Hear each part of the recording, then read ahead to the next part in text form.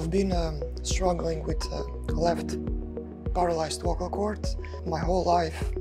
Um, my voice was really um, weak and really hard to speak in a loud environment, and also it was really breathy. I was losing a lot of air when I was speaking, uh, which led me to force myself to speak to somebody, and I I was spending a lot of energy on that. In general, that's that's how I felt before the surgery. Doğduğundan beri e, ses teli felci sebebiyle ses kısıklığı yaşayan hastamız bize başvurdu. Yaklaşık 5 yıl kadar önce başarısızlıkla sonuçlanan bir cerrahi girişimde geçirmiş. Bize geldiğinde e, yaptığımız değerlendirmede hastanın sol ses telinde felç tespit ettik. So the way I found this place was with help of my colleague from my work.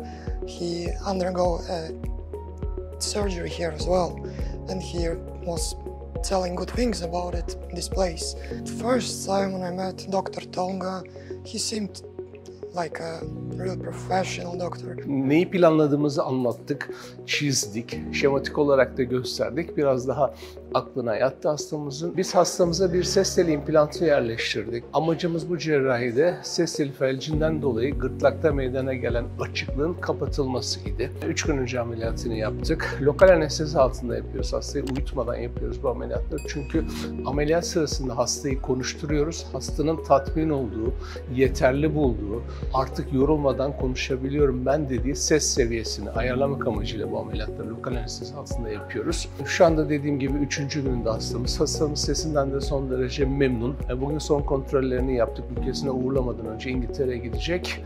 6 ay sonra da tekrar bize kontrole gelecek. The nurses and basically everybody around me made it much easier because the whole service was amazing. I was getting uh, painkillers in the right time.